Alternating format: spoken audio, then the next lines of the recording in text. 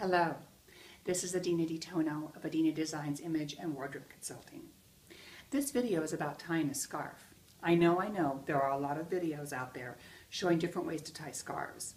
This video isn't about that. It is about showing you how to make an infinity scarf out of a scarf you already own. I personally love scarves as a quick and easy way to add a little pop to an outfit. You can even wear them in the summer as long as the fabric is light and breezy like a gauzy cotton or silk. The scarf I mentioned that's very popular right now is the infinity scarf. You know, the one that's an endless circle. If you haven't tried it yet, there's no need to rush out and buy one because you can turn an ordinary long rectangular scarf into an infinity scarf very easily. Here's how.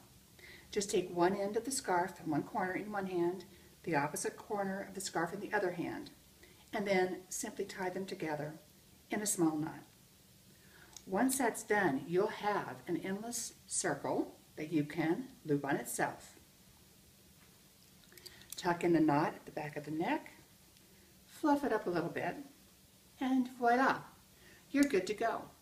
This is so very easy to do, and you'll be able to use this right away with those summer scarves you got in your wardrobe.